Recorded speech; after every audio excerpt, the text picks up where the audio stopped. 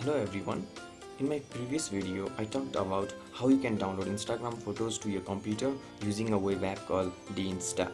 Using the app, you are limited to downloading Instagram photos that have their profile public. For downloading photos from private Instagram profiles, there's a small workaround. Open up your browser and log into your Instagram account and go to a particular private profile whose photo you would like to download and open that photo and this is private instagram profile of one of my friend uh, sanjuk sigdel the guy from techzwala.com and for demonstration i'm going to download this photo. Click on it. And once the photo loads right click on the photo and select inspect.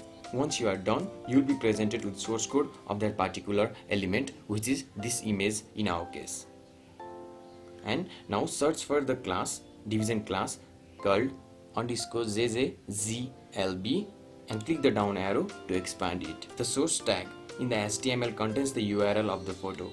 Double click the URL and copy it and open it in the new tab.